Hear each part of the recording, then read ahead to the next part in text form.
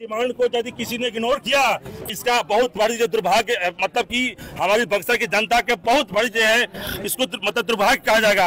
आनंद मिश्र को हम अपने तरफ़ से पूरा चयन कर रहे हैं और हमारे तरफ़ से बिल्कुल सुयोग्य योग्य उम्मीदवार आनंद मिश्रा। किस तरह से तैयारी करेंगे आप सर पूरी सैनिक संघ हमारी पूरी ताकत ताकत पूरा जोड़ देगा और हमारे आगे किसी का नहीं चलेगा। आनंद मिश्रा ही स्पेशली सैनिक का प्रचार हमारे यहाँ पर हम लोग पूरा- यहाँ किसी को। जिताने और हराने के लिए। हमारे यहाँ एक लाख वोटर हैं। जी। सैनिक संघ हमारे जितने लोग हैं उनके रिलेटिव उनके घर को मिला के एक एक लाख लोग हैं। हम। किसी को एक लाख से ऊपर है बल्कि इस बार हम किसी को जिता सकते हैं हमारी ये क्षमता है और इस बार ये हम करके दिखाएँगे।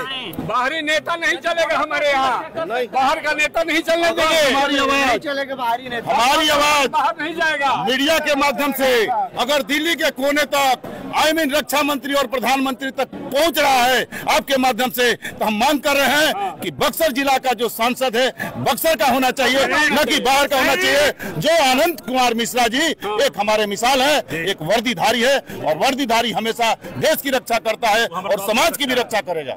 यदि बगल सुरक्षा सैनिक कर सकता है तो बक्सर का भी करेगा। आनंद मिश्रा जिंदाबाद। जिंदाबाद। जिंदाबाद आनंद मिश्रा जिंदाबाद। हमारा नेता इसीलिए इसीलिए तो आज तक बक्सर का विकास नहीं हुआ बाहरी व्यक्ति के चयनित होने से आज तक बक्सर का विकास नहीं हुआ है बाहरी व्यक्ति आता है वो बक्सर का विकास क्यों करेगा लेकिन कहीं ना कहीं बीजेपी जो है वो बार बार बोलती है लोकल फॉर वोकल लेकिन वो लोकल पर ध्यान नहीं दे रही है बार बार वोकल पर नहीं चलेगा बाहर का नेता नहीं चलेगा ये बीजेपी का अहंकार बता रहा है हम भारतीय सैनिक हैं, हम किसी पार्टी से नहीं है। जो हमारा काम करेगा वो हमारा नेता है। या तो मोदी जी को ही अहंकार हो गया है नहीं तो भाजपा को अहंकार हो गया है क्योंकि सही व्यक्ति को नहीं चुना गया है। बक्सर की जनता आज बहुत दिन से मांग कर रही है कि हमारा सांसद बक्सर का हो। क्यों नहीं बक्सर के सांसद? यानी कि हमारे बक्सर में कोई भी कार्यकर्ता सांसद के योग्य नहीं है। यानी कि इस बार आप लोग पूरी तरह से मोदी जी का। हम लोग संकल्पित है इस बार दृढ़ संकल्प है। कि बक्सर का ही प्रतिनिधि जीतेगा। हम लोग विरोध कर रहे हैं। इसके लिए क्या कहना चाहते बंधुआ मजदूर नहीं है। यहाँ हर बार इसलिए दिया जाता है कि हम जिता के भेज देते हैं। अगर हम जिता के नहीं भेजते तो इस बार बाहरी लोगों को टिकट नहीं मिलता। और इस बार फिर बीजेपी ये सोच के टिकट दी है कि जैसे यहाँ की जनता हमेशा बेवकूफ़ बन जाती है बाहरी लोगों को एक्सेप्ट कर लेती है इस बार भी एक्सेप्ट कर लेगी। लेकिन आप ध्यान रखिए इस बार बक्सर की जनता बाहरी लोगों को एक्सेप्ट नहीं करेगी। इसलिए हम लोग नारा लगाते हैं। आप लोग आप लोग अभी और बक्सर के बेटा को जिताओ। अभी आप लोग कितने लोग मिल करके बीजेपी का पूरी तरह से विरोध करेंगे? हमारे हम आपको बता रहे हैं कि जितना सैनिक है और सैनिक का परिवार है वो काफ़ी है जिताने और हराने के हम लोग हैं। हमारे सैनिक और सैनिक के परिवार मिला के एक लाख से ऊपर है। तो हम लोग किसी को जिताने के लिए और हराने के लिए काफ़ी है और ये इस चुनाव में आपको दिख जाएगा। और सुनील चौबे दो बार यहाँ बक्सर से सांसद जीते हैं। उनको बहुत बढ़िया अपॉर्चुनिटी मिला था बक्सर से। बक्सर जो है आज यहाँ के जो कमियाँ है ये किसी से छिपा नहीं है। अगर चाहते उनके हाथ में बहुत कुछ पावर था जाए ना यहाँ से एम्स नंबर वन एग्ज़ाम्पल यहाँ का एम्स जो है सब कुछ आवंटित हो चुका था। यहाँ से उठा करके अपने भागलपुर ले चले गए सबसे नंबर वन पॉइंट यहाँ की चाहे बहुत तमाम तरह की यहाँ प्रॉब्लम है। बक्सर का अश्विनी चौबे ने दस बार दस साल तक यहाँ रहे। ही बहुत चाहते तो बहुत कुछ कर सकते थे लेकिन मैं अब आ रहा हूँ सैनिक पर। सैनिक का जो मांग था कभी हमारे एसडीएम साहब डीएम साहब हमारे हर संघ में हमारे आते थे हमारी प्रॉब्लम को सुनते हैं देखते करना ना करना लेकिन स्पेशल आते थे। लेकिन अश्विनी चौबे ने हमारे सैनिक का समस्याओं को उनके पास कितने बार पॉइंट गया लेकिन उन्होंने नजरअंदाज किया। इस बार हम जो है चुकेंगे नहीं।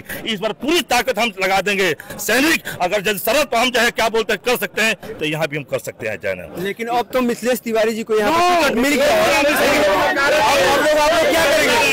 आगे की प्लानिंग क्या है?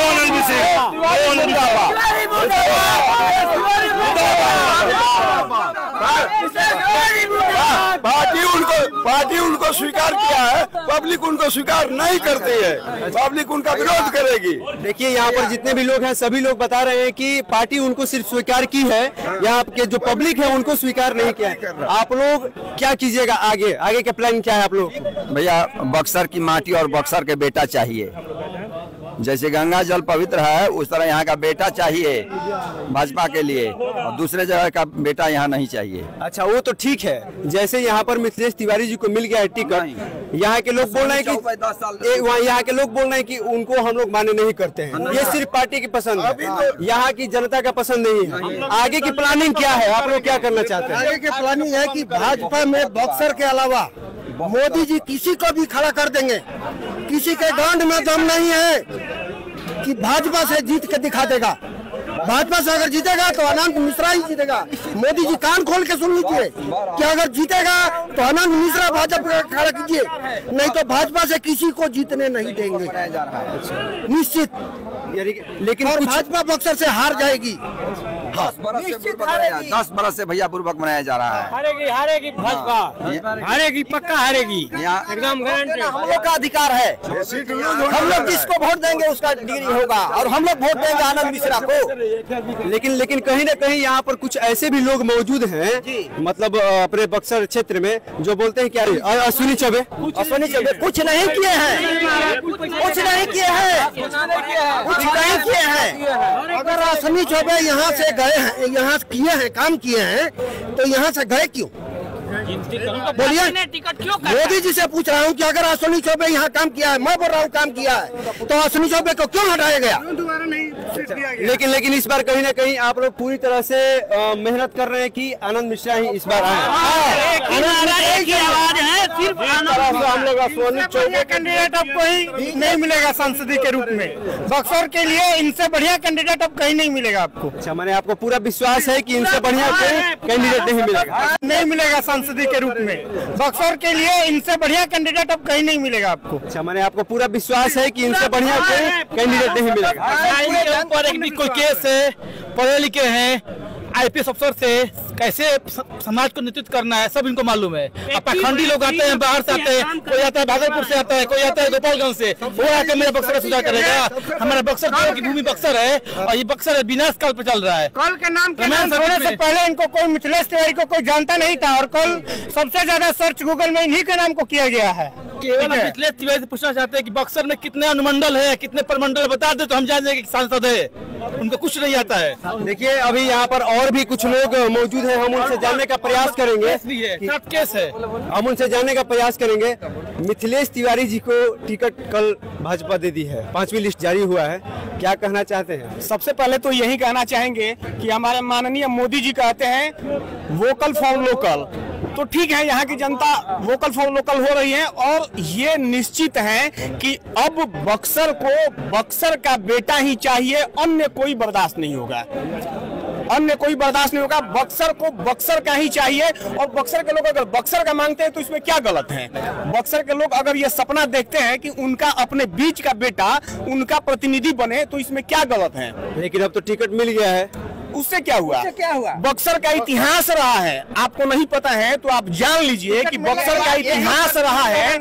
कि यहाँ से निर्दलीय सांसद बने हैं और इस बार भी बनेंगे। तो आगे की प्लानिंग आप लोगों की क्या है? आगे की प्लानिंग है कि हम निर्दलीय जाएँगे और जीतेंगे भी। और जीतेंगे भी। ये आप देख सकते हैं कि यहाँ पूरे हर वर्ग के लोग यहाँ जुटे हुए हैं। अभी आपने देखा कि सैनिक संघ ग्राम रक्षा समिति अन्य कई सारे रेल यात्री कल्याण समिति के सब लोग आए हुए हैं और हर वर्ग हर समुदाय के लोग यहाँ हैं।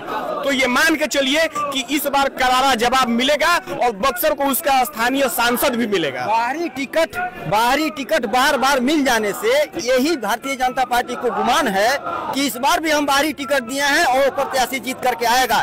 लेकिन निश्चित तय है कि इस बार इस बार भारतीय जनता पार्टी का या तो मोदी जी का चेहरा हो या बीजेपी का चेहरा हो, उसके आधार पर वोट नहीं होगा। इस बार आनंद मिश्रा के चेहरा पर ही वोट होगा। देखिए, अभी यहाँ पर तमाम लोग मौजूद थे, ये सभी लोग बता रहे थे कि कहीं ना कहीं आनंद मिश्रा को ही टिकट मिले और मिथिलेश तिवारी को हम यहाँ पर सपोर्ट नहीं करते हैं और आनंद मिश्रा को ही हम पूरी तरह से सपोर्ट करेंगे।